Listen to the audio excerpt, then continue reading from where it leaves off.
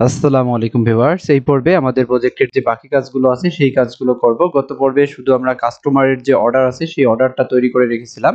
এখানে যদি দেখি যে আমাদের কাস্টমারের যে অর্ডার আছে, সেই অর্ডার আমরা দেখতে পাচ্ছি। এরপরে আমাদের অথরের যে অর্ডারগুলো আছে, সেই অর্ডারগুলো তৈরি করতে হবে। অর্থাৎ যে অর্ডারগুলো মূলত চলে যাবে আমাদের সেলারের কাছ থেকে। মূলত সেলারের কাছ থেকে বলতে অথরের কাছ থেকে সেলারের কাছে মূলত চলে যাবে। তাহলে এর জন্য আমরা এটার একটা ফরম্যাটিং করে নেব। তাহলে এখানে ফরম্যাটিং করা বলতে বোঝাচ্ছে যে, এখানে যে আমরা প্রোডাক্টগুলো দেখতে পাচ্ছি, তাহলে এখানে এই শপের শপকে আমরা একটা অর্ডার পাঠাবো, এই শপকে একটা, এই শপকে একটা। তাহলে এটাকে আমাদের একটা ফরম্যাটে রূপান্তর করতে হবে যাতে আমরা বুঝতে পারি যে এই শপের অর্ডারের মধ্যে এই তিনটা প্রোডাক্ট আছে, এর প্রাইস এরকম এবং এত কোয়ান্টিটি এবং সেম ভাবে এই জিনিসগুলো। তাহলে এখান থেকে ফর এবং ফরের মধ্যে আমরা ব্যবহার করব লেট এবং আই ইজ ইকুয়াল টু আমাদের জিরো হবে এবং এখানে আমরা ব্যবহার করব আই লেস দেন আমাদের যে প্রোডাক্টস আছে উপরে যে প্রোডাক্টস আমরা ডিস্ট্রাকচার করে নিয়েছিলাম, এই যে প্রোডাক্টস এবং এই প্রোডাক্টসটাকে আমাদের এখানে কি করতে হবে, তার যে লেন্থ আছে সেই লেন্থ বরাবর আমাদের লুপ ঘুরবে এবং আই প্লাস প্লাস এবং এরপরে আমরা এখানে আরেক একটা কনস্ট এবং প্রো এরপরে আমাদের যে প্রোডাক্টস আছে, সেই প্রোডাক্টসটা আমরা নিয়ে নেব। অর্থাৎ উপরে আমরা যে কাজটা করেছিলাম, এই যে এখানে যে কাজটা করেছিলাম সেই কাজটা মূলত আবার করব এখানে। তাহলে এখান থেকে এটাকে প্রোডাক্টসটাকে আমরা নিয়ে নিলাম এবং নিয়ে নেওয়ার পরে আমরা এখান থেকে প্রাইস বার করে নেব। তাহলে এখান থেকে পিআরআই দিয়ে দিচ্ছি যে প্রাইস এবং এরপরে এটাকে এখানে পেস্ট করে দেব। তাহলে এই যে প্রোডাক্টস আছে, সেই প্রোডাক্টসটা এখানে পেস্ট করে দেব এবং এখানে প্রোডাক্টসের পরিবর্তে আমাদের এটা হবে প্রাইস এবং এরপরে আমরা এখান থেকে কনস সেলার যে আছে সেই সেলার আইডিটা এখান থেকে রিস্ট্রাকচার করে নেব, অর্থাৎ নিয়ে নেব। সেলার আইডি এবং এই সেলার আইডিটা আমরা কোথা থেকে পাবো? আমাদের এই যে প্রোডাক্টস ডট এখান থেকে যে সেলার আছে সেই সেলার আইডি এখান থেকে আমরা পেয়ে যাব। এবং এরপরে আমরা একটা লেট এবং এখানে একটা অ্যারে নেব, যে অ্যারের নাম দিচ্ছি store product PRO store product এখানে আমাদের যে প্রোডাক্টগুলো আছে, সেই প্রোডাক্টগুলো আমরা স্টোর করে রাখব সেলার অনুযায়ী। এরপরে আমরা আরেকটা ফর নেব, যে ফরের মধ্যে আমাদের লুপ শুরু হবে যে ইজ ইকুয়াল টু জিরো থেকে এবং যে লেস দেন সেম ভাবে আগের মতো, যে প্রো ডট যে লেন্থ উপরে যে কাজটা করেছিলাম, সেটার মতোই এবং যে প্লাস প্লাস এরপরে এখানে আমরা যে কাজটা করব যে লেট আমরা একটা টেম্পোরারি এখান থেকে টেম্পোরারি প্রোডাক্ট নেব এবং যে প্রোডাক্টটা আমাদের কোথায় পাবো, আমাদের যে প্রো আছে, সেই প্রো এর যে নম্বর ইন্ডেক্সের মধ্যে পাবো এবং ডট আমাদের যে প্রোডাক্ট ইনফোটা আছে, সেই প্রোডাক্ট ইনফোটা আমরা নিয়ে নিলাম। নিয়ে নেওয়ার পরে আমরা আমাদের যে টেম্পোরারি প্রোডাক্ট আছে, সেই টেম্পোরারি প্রোডাক্টের যে কোয়ান্টিটিটা আছে, সেই কোয়ান্টিটিটাকে আমরা আপডেট করে দেব। এখান থেকে আমরা ব্যবহার করব। কোয়ান্টিটি এবং এই টেম্পোরারি যে প্রোডাক্ট আমরা পেলাম, এই প্রোডাক্টের যে কোয়ান্টিটি আছে, সেই কোয়ান্টিটিটা মূলত আপডেট করে দেব। এবং প্রো প্রোর মধ্যে আমাদের কত? যেতম যে ইন্ডেক্স আছে, সেই যেতম ইন্ডেক্সের যে কোয়ান্টিটিটা আছে, সেই কোয়ান্টিটিটা আমরা এখানে আপডেট করে দেব। এরপরে আমাদের যে স্টোর প্রো দুঃখিত। এরপরে স্টোর প্রো ডট এবং এখানে আমরা ব্যবহার করব পুশ মেথড এবং এখানে আমাদের যে টেম্পোরারি প্রোডাক্টটা আছে, সেই প্রোডাক্টটাকে আমরা পুশ করে দেব। এবং পুশ করে দেওয়ার পরে এই ফর লুপ থেকে মূলত আমরা বার হব, বার হয়ে বাকি যে আমাদের অথরের যে অর্ডার আছে, সেই অর্ডারটাকে এখানে আমাদের আপডেট করে দিতে হবে। অর্থাৎ যে মডেল আছে, সেই মডেল দুঃখিত, এখানে যে ডকুমেন্ট আছে, সেই ডকুমেন্টটা মূলত ক্রিয়েট করতে হবে।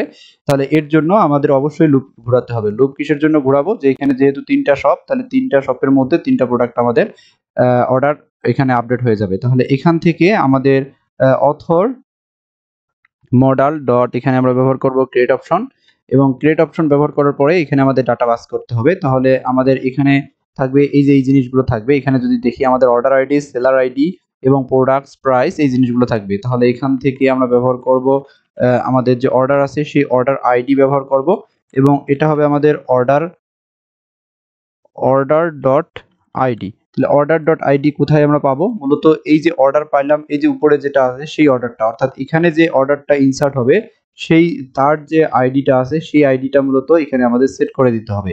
এবং সেট করে দেওয়ার পরে আমাদের এখানে হবে, আমাদের যে সেলার আইডি আছে, সেই সেলার আইডি এরপরে আমাদের যে প্রোডাক্টস আছে, সেই প্রোডাক্টস এই প্রোডাক্টস আমাদের এখানে কি হবে? আমাদের যে স্টোর প্রোডাক্ট আমরা একটা অ্যারে ফরম্যাট করে নিলাম, সেই স্টোর প্রোডাক্ট এরপরে এখান থেকে আমাদের প্রাইস এখান থেকে আমাদের প্রাইসটা কোনটা হবে? আমাদের এই যে এখানে যে প্রাইস পি আর আই যেটা ব্যবহার করেছি, সেই পি আর আইটা হবে। এরপরে আমাদের পেমেন্ট স্ট্যাটাস তাহলে এখানে যে পেমেন্ট স্ট্যাটাস সেই পেমেন্ট স্ট্যাটাস অবশ্যই আমাদের আন আনপেইড হবে।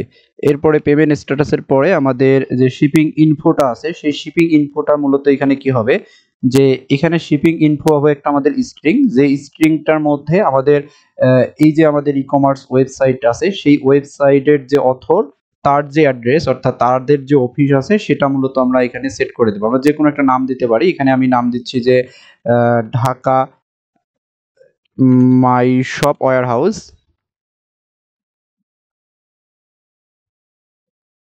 যে এখানে যে কোনো একটা নাম দিলে হবে, যে অর্ডারগুলো চলে যাবে আগে, এই যে ঢাকা মাইশপ ওয়ার হাউসে চলে যাবে, এখান থেকে মূলত চলে যাবে কাস্টমারের কাছে একটা বান্ডেল আকারে। এরপরে আমাদের ডেলিভারি স্ট্যাটাস এখানে আমরা ব্যবহার করব আমাদের ডেলিভারি যে স্ট্যাটাস আছে, সেই স্ট্যাটাস হবে আমাদের পেন্ডিং এরপরে এখানে আমাদের ডেট ব্যবহার করতে হবে, যে ডেট এই ডেট আমরা কোথায় পাবো, আমাদের যে ট্যাম্প ডেট একটা তৈরি করেছি ফরম্যাট করেছি, সেটা ব্যবহার করব। তাহলে এটা ব্যবহার করার পরে এখানে আমাদের এগুলোর যেটা আছে সেগুলোর কাজ শেষ, এরপরে আমরা ফর লুপ থেকে বার হয়ে যাব। তাহলে এখানে যে যে ফর লুপটা আছে, সেই ফর লুপটা থেকে আমরা বার হব। তাহলে এখানে এগুলো আমাদের ঠিক থাকবে, আমরা একবার ট্রাই করে দেখি। তাহলে এটাকে এখান থেকে ডিলিট করে দিচ্ছি। এবং ডিলিট করে দেওয়ার পরে আমরা এখান থেকে এটাকে চেক আউট করব। এবং চেক আউট করার পরে এখানে যে ইনফরমেশনগুলো আছে, সেই ইনফরমেশনগুলো আমরা এখানে সেট করে দেব এবং সেভ এবং সেভ করার পরে আমরা এখানে প্লেস অর্ডার এবং প্লেস অর্ডার করার পরে আমাদের যদি কোনো এরর না থাকে, তাহলে এটা প্লেস অর্ডার হবে। কিন্তু এখানে অথর ভ্যালিড ডিফা ভ্যালিডেশন অর্থাৎ আমাদের যে মডেল তৈরি করেছিলাম, সেই মডেলের মধ্যে সম্ভবত একটা ঝামেলা আছে। সার্ভার ইজ রানিং এরপরে আমাদের যে প্রাইস আছে, সেই প্রাইস ইজ রিকোয়ার্ড কিন্তু এখানে পি আর আই এখানে প্রাইস রিকোয়ার্ড দেখাচ্ছে, কিন্তু আমাদের সম্ভবত এই যে প্রাইস আছে, সেই পিআরআই এর মধ্যে কোনো আমরা প্রাইস পাচ্ছি না, কারণ এই যে এখানে ভুল করেছিলাম, এখানে কনস্ট অ্যাড হয়ে গিয়েছিল। তাহলে এটাকে আমরা আরেকবার ট্রাই করব। তাহলে এখান থেকে এটা আমাদের অবশ্যই আপডেট হয়ে গিয়েছে, এখান থেকে এটাকে রিফ্রেশ দিচ্ছি। আচ্ছা এখানে রিফ্রেশ এবং রিফ্রেশ দেওয়ার পরে এটাকে আবার ডিলিট করে দিচ্ছি। এবং ডিলিট করে দেওয়ার পরে আমরা এখানে আরেকবার ক্লিক করব। ক্লিক করার পরে এখানে আমাদের কোনো ইরোড দেখাচ্ছে না, আমরা এটাকে যদি রিফ্রেশ করি এটাকে রিফ্রেশ করলে এখানে আমাদের কি দেখাচ্ছে? এখানে মূলত আমাদের যে অর্ডার আছে, সেই অর্ডার দেখাচ্ছে। এটা হলো কাস্টমার অর্ডার এই অর্ডারটা কাস্টমারের এখানে শো করবে। এখন এখান থেকে আমরা যদি আমাদের যে অথর অর্ডারস এর মধ্যে যাই, এই যে অথর অর্ডারস সেই অথর অর্ডারস এর মধ্যে এখানে কয়টা অর্ডার তৈরি হয়ে গিয়েছে? তিনটা অর্ডার তৈরি হয়ে গিয়েছে। তিনটা বলতে এই কোন তিনটা? এই যে এই শপের জন্য একটা অর্ডার এই শপের জন্য একটা অর্ডার এই শপের জন্য একটা অর্ডার তাহলে এটাই মূলত এখানে আমরা দেখতে পারব।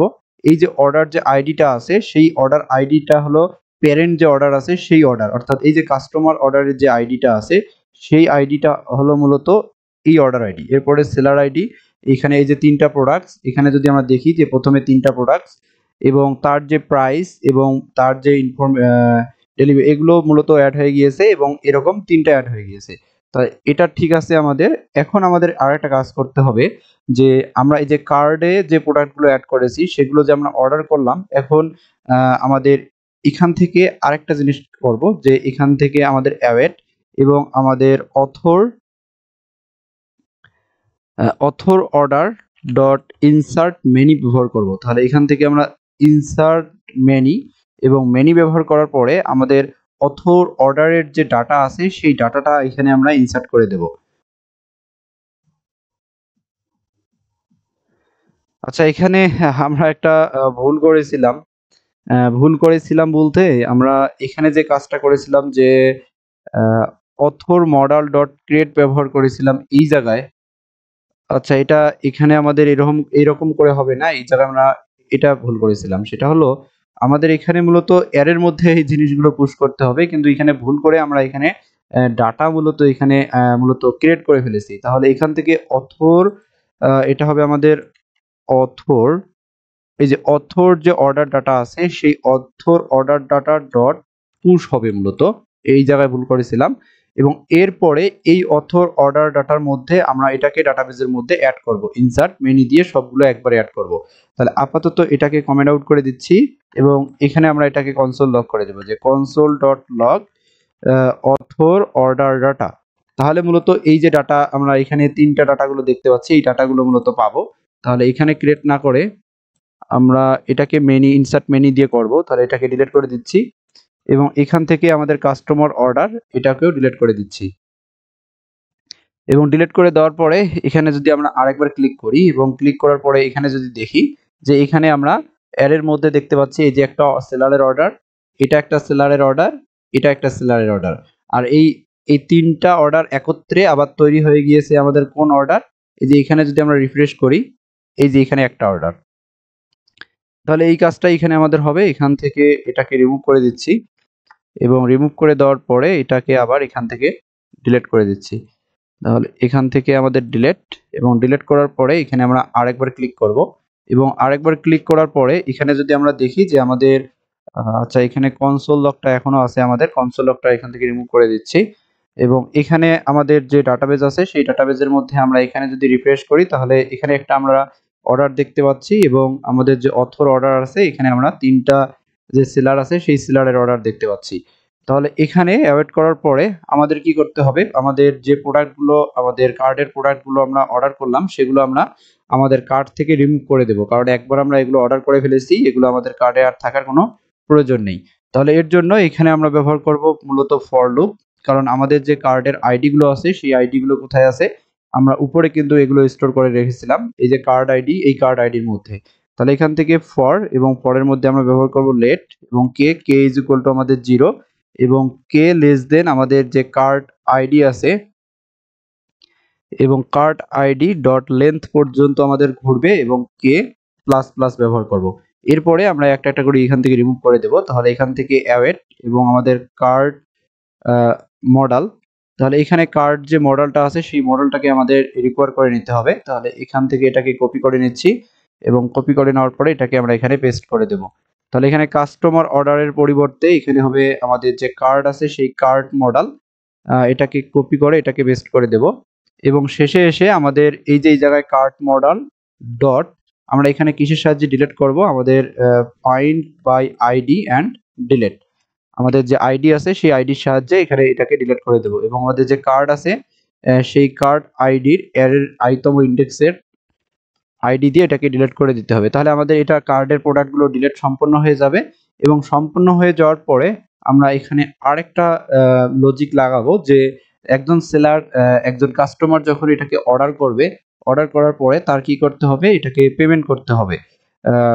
অর্ডার করল অর্ডার করার পর তাকে কি করতে হবে? পেমেন্ট করতে হবে। এখন সে যদি আমরা একটা সময় সেট করে দেব যে এত সময়ের মধ্যে সে যদি এটাকে অর্ডার না করে, তাহলে অটোমেটিক তার যে অর্ডারটা আছে, সেই অর্ডারটা ক্যান্সেল হয়ে যাবে। তাহলে এটা কীরকম? আমরা যে কোনো ওয়েবসাইটে গিয়ে যদি, অর্থাৎ ই কমার্স ওয়েবসাইটে গিয়ে কোনো প্রোডাক্ট যদি অর্ডার করি, তাহলে নির্দিষ্ট একটা সময় পর আমাদের ওই অর্ডারটা ক্যান্সেল হয়ে যায়, আমরা যদি পেমেন্ট না করি। তাহলে সেই কাজটাই মূলত এখানে করব। এটা করার জন্য আমরা উপরে একটা ফাংশন তৈরি করে নেব। তাহলে এখান থেকে আমরা এখানে একটা মেথড তৈরি করব এই ক্লাসের ভিতরে। এই ক্লাসের ভিতরে আমরা একটা ফাংশন তৈরি করব, যে ফাংশনের সাহায্যে আমরা সেট করে দেব যে কত সময় পর আমাদের যে অর্ডার আছে, সেই অর্ডারটা ক্যান্সেল হয়ে যাবে। এর জন্য এখানে ব্যবহার করব ফাংশনের নাম দিচ্ছি যে পেমেন্ট চেক পেমেন্ট চেক এবং এটা আমরা ব্যবহার করব অ্যাসিং এবং এটা হবে আমাদের আইডি অর্থাৎ আমরা যে অর্ডারটা অর্ডারের মধ্যে টাইম সেট করে দিতে চাচ্ছি সেই অর্ডারের এখানে আমাদের আইডি পাবো। এটাকে যখন কল করব, তখন এখানে আইডি পাস করব। এবং এখানে আমরা ব্যবহার করব আমাদের ট্রাই ক্যাশ মেথড এবং ট্রাই ক্যাশ মেথড ব্যবহার করার পরে প্রথমে আমরা কি করব, আমাদের অর্ডারটা গেট করে নেব। আমাদের যে অর্ডারটার মধ্যে আমরা টাইম সেট করব, সেই অর্ডারটা এরপরে এখানে ব্যবহার করব অ্যাওয়েট এবং আমাদের কাস্টমার অর্ডার অবশ্যই এটা আমাদের কাস্টমার অর্ডার হবে এবং ডট ফাইন্ড বাই আইডি এবং আইডিটা আমরা কোথায় পাবো, এই যে আইডি আছে, সেই আইডিটা এখানে পাস করে দেব। এবং আমরা চেক চেক করব মূলত যে আমাদের যে অর্ডার আছে, সেই অর্ডারের যে পেমেন্ট স্ট্যাটাস আছে, সেই পেমেন্ট স্ট্যাটাস যদি আমাদের আগে থেকে এটা আনপেইড থাকে, তাহলে এখান থেকে আন এটা যদি আমাদের আনপেইড থাকে, অর্থাৎ এটা যদি পেইড না করে, অর্থাৎ একজন কাস্টমার যদি অর্ডার করার পর দীর্ঘক্ষণ সময় থেকে তার যে পেমেন্ট আছে, সেই পেমেন্টটা যদি না করে, তাহলে মূলত আমরা এটা কি করে দেব? এটাকে ক্যান্সেল করে দেব। তাহলে এটা যদি আনপেইড হয়ে যায়, তাহলে এখানে আপপেইড হয়ে গিয়েছে, এটা হবে মূলত আনপেইড এটা আনপেইড হবে। তাহলে এটা যদি আনপেইড থাকে, তাহলে আমরা কি করব? অ্যাওয়েট এবং আমাদের যে কাস্টমার মডেল আছে, সেই কাস্টমার মূলত কাস্টমার অর্ডার ডট আমাদের find by ID and update করব। তাহলে এখান থেকে find by ID and update এবং আপডেটের মধ্যে প্রথমে দিতে হবে আমাদের আইডি যার যে অর্ডারটা আপডেট করতে চাচ্ছি, এরপরে আমাদের ব্যবহার করব আমাদের যে ডেলিভারি স্ট্যাটাস আছে, সেই ডেলিভারি স্ট্যাটাস আমরা ব্যবহার করব ক্যান্সেল তাহলে ডেলিভারি যে স্ট্যাটাস আছে, সেটা হয়ে যাবে আমাদের ক্যান্সেল যে আমাদের এই যে প্রোডাক্টটা আমরা ডেলিভারি দিতে চাচ্ছি, এটা একেবারেই আমাদের ক্যান্সেল কারণ এটা আমাদের ডেলিভারি দেওয়ার কোনো প্রয়োজন নেই। কারণ এটার পেমেন্ট এখনও করেনি। তাহলে সময় মতন পেমেন্ট করেনি তাহলে এরপরে আমাদের এটা আচ্ছা এটা ফাইন্ড বাই আইডি এটা আমরা করলাম যে কাস্টমার যে অর্ডার আছে, সেই কাস্টমারের যে পেমেন্ট ডেলিভারি স্ট্যাটাস আছে, সেই ডেলিভারি স্ট্যাটাসটাকে আমরা এখানে ক্যান্সেল করে দিলাম এবং ক্যান্সেল করে দেওয়ার পরে এখানে আমরা ব্যবহার করব অ্যাওয়েট এরপরে কখন ক্যান্সেল হবে? যখন তার পেমেন্টটা করবে না। তাহলে এখান থেকে আমাদের order model dot update many ব্যবহার করব। তাহলে আপডেট ম্যানি এবং আপডেট মেনি করতে হবে, অর্থাৎ এখানে দুইটা মডেলের মধ্যে কাজ হবে। একটার কাজ হবে এই যে আমাদের এখানে কাস্টমার অর্ডার এই কাস্টমার অর্ডারের একটা নির্দিষ্ট সময় পর এটা মূলত আমাদের ক্যান্সেল হয়ে যাবে। যদি পেমেন্ট না করে আনপেইড থাকে। এরপরে এর সাপেক্ষে সেলারের কাছে এই যে তিনটা প্রোডাক্ট যে সেলারের যে সেলারের কাছে আমরা এই তিনটা প্রোডাক্ট কিনেছিলাম, সেই সেলারের কাছে যে অর্ডার চলে গেছে সেই অর্ডারগুলোকেও আমাদের ক্যান্সেল করে দিতে হবে। তাহলে এই জন্য আমরা ব্যবহার করব এখানে আপডেট মেনি। আপডেট মেনি এই জন্য কারণ এখানে আমাদের তিনটা কিন্তু আছে অর্ডার। এই তিনটা অর্ডারকে আমাদের আপডেট করে দিতে হবে। এই জন্য এখানে আমরা আপডেট মেনি ব্যবহার করলাম এবং প্রথমে আমাদের এখানে কিসের সাহায্যে আমরা ফাইন্ড করব? আমাদের অর্ডার আইডি এই অর্ডার আইডি হলো আমরা এই যে এখানে যে আইডিটা পাবো, সেই আইডির সমান। এরপরে এখানে আমাদের কমা দিয়ে আমরা কি আপডেট করতে চাচ্ছি সেটা মূলত দিতে হবে। তাহলে এখান থেকে আমরা আপডেট করতে চাচ্ছি আমাদের যে পেমেন্ট স্ট্যাটাস আছে। তাহলে এখানে আবার সেকেন্ড ব্র্যাকেট এবং সেকেন্ড ব্র্যাকেটের মধ্যে আমাদের যে ডেলিভারি স্ট্যাটাস আছে সেই ডেলিভারি স্ট্যাটাস হয়ে যাবে আমাদের ক্যান্সেল তাহলে উপরেরটাকে কপি করে নিচ্ছি, এটাকে পেস্ট করে দিচ্ছি। এখন এটাকে আমাদের একটা নির্দিষ্ট সময় পর কল করতে হবে। এই যে ফাংশনটা আছে, এই ফাংশনটাকে একটা নির্দিষ্ট সময় পর আমাদের কল করতে হবে। তাহলে আমাদের মূলত এটা কাজ করবে। তাহলে এখান থেকে আমাদের কনসোল ডট লগ আমাদের ইরোড ডট মেসেজ এখান থেকে আমরা এটা কাজ হওয়ার পরে এখানে আমরা রিটার্ন এবং রিটার্ন যেটা আছে রিটার্নটাকে আমি ট্রু করে দিলাম। এখন এটাকে আমরা কল করব। এটা কল করব সেট টাইম আউট দিয়ে, যাতে এত সময় পর এটা আমাদের কাজ করে। তাহলে এর জন্য এই যে ফর এই যে অ্যাওয়েট এই যে ফর আমাদের ফর লুপ আছে, সেই ফর লুপের পরে আমরা এখানে একটা সেট টাইম আউট ব্যবহার করব। এখানে কল ব্যাক অ্যানোনিমাস ফাংশন এরপরে এর ভিতরে গিয়ে আমরা মূলত কল করব, আমরা যে ফাংশনটা তৈরি করলাম, সেই ফাংশনটাকে কল করে দেব। এবং কল করে দেওয়ার জন্য এখানে আমাদের যেটা ব্যবহার করতে হবে, যে এখান থেকে আমাদের দিস ডট ওই যে আমরা চেক যে, এই যে চেক পেমেন্ট পেমেন্ট চেক ফাংশনটা আছে, সেটা কল করব। এবং কল করার পরে ওখানে আমাদের অর্ডারের যে আইডিটা আছে, আমাদের অর্ডার ডট যে আইডিটা আছে সেই আইডিটা দিয়ে দিতে হবে। এরপরে এই যে সেকেন্ড ব্র্যাকেটটা আছে, সেই সেকেন্ড ব্র্যাকেটের কমা কমার পরে আমরা এখানে কি করব যে এখানে ফাইভ থাউজেন্ড দেবো। যে পাঁচ সেকেন্ড পর আমরা যখনই অর্ডার অর্ডার করব অর্ডার করার পাঁচ সেকেন্ড পর আমাদের অর্ডারটা অটোমেটিক ডেলিভারি স্ট্যাটাস ক্যান্সেল হয়ে যাবে। যাতে এটার যে সেলারের কাছে যাবে বা অথর এটা ডেলিভারি দেবে না। এটা কারণ এটার পেমেন্ট করেনি। এখানে পাঁচ সেকেন্ড দিচ্ছি এই জন্য আপনাদের দেখানোর জন্য যে এটা আসলে কীভাবে কাজ করে। এখানে আমরা যদি এক ঘন্টাও সেট করে দিতে পারি, দশ মিনিট, বিশ মিনিট বা একদিন এটাও আমরা সেট করে দিতে পারি। তাহলে এটা আমরা আবার চেক করব। তাহলে এখান থেকে এটাকে রিফ্রেশ দিচ্ছি এবং রিফ্রেশ দেওয়ার পর এটাকে রিমুভ করে দিচ্ছি। তাহলে এখান থেকে আমাদের ডিলেট এবং এখান থেকে আমাদের এই যে কাস্টমার অর্ডারটা আছে, সেই কাস্টমার অর্ডারটাকে আমরা এখান থেকে ডিলিট করে দেব। এবং ডিলিট করে দেওয়ার পরে আমরা এখান থেকে একটু কনসোল লগের মধ্যে যাব এবং কনসোল লগের মধ্যে গিয়ে এটাকে আমরা আবার ক্লিক করব। তাহলে প্লেস অর্ডার এবং প্লেস অর্ডার করার পরে আমাদের এখানে যদি কোনো ইরোর না থাকে, তাহলে এখানে দেখা যাচ্ছে আই ইজ নট ডিফাইন্ড তাহলে আই ইজ নট ডিফাইন্ড বলতে তাহলে উপরে আমাদের সমস্যা আছে, এখান থেকে আই এবং আচ্ছা এখান থেকে আচ্ছা এখানে কোথাও আমরা আই ব্যবহার করেছিলাম, সম্ভবত আই ইজ নট ডিফাইন্ড দেখাচ্ছে। এখান থেকে আইডি এখানে আমাদের আইডি তাহলে এখানে ইরোড ডট মেসেজ এখানে ইরোডটা কনসোল লক করে নেই, যাতে মূলত যে আমাদের ইরোডটা আছে, সেই ইরোডটা একবারে বুঝতে পারি কোন লাইনের মধ্যে হচ্ছে। এখান থেকে ক্লিক এবং ক্লিক করার পরে আচ্ছা এখনও আই ইজ নট ডিফাইন্ড দেখাচ্ছে। এখানে যে ডাটাগুলো আছে, সেই ডাটাগুলো এখান থেকে রিফ্রেশ করার পরে এগুলো রিমুভ করে দিচ্ছি। এটাকে এখান থেকে রিমুভ এখান থেকেও এগুলোকে রিমুভ করে দিতে হবে। তাহলে এখান থেকে রিমুভ এগুলো বারবার রিমুভ করার সময় লাগতেছে। এখান থেকে ডিলেট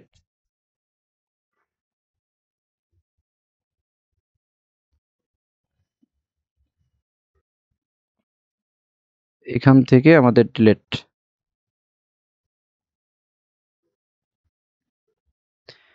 আচ্ছা এখানে আমাদের যেটা দেখাচ্ছে যে আই ইজ নট ডিফাইন তাহলে এখানে আই আচ্ছা এটা এখানে একটু নিচে যাই।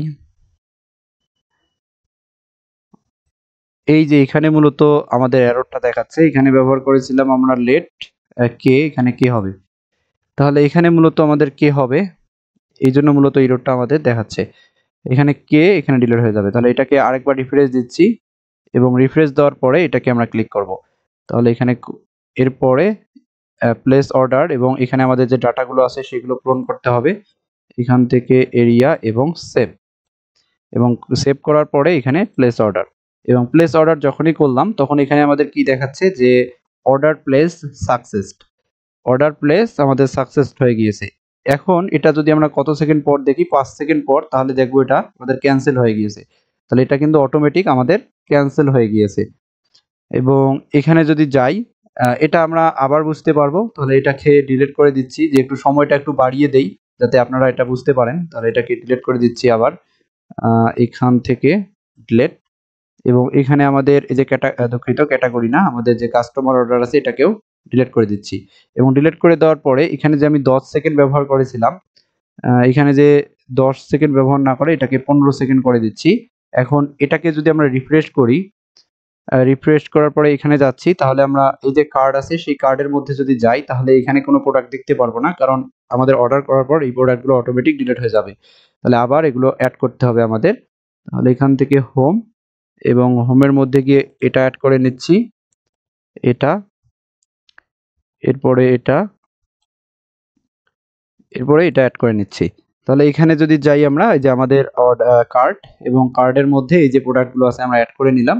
এবং অ্যাড করে নেওয়ার পরে এখানে কিছু কোয়ান্টিটি যেগুলো আছে সেগুলো কিছু অ্যাড করে দিচ্ছি আবার।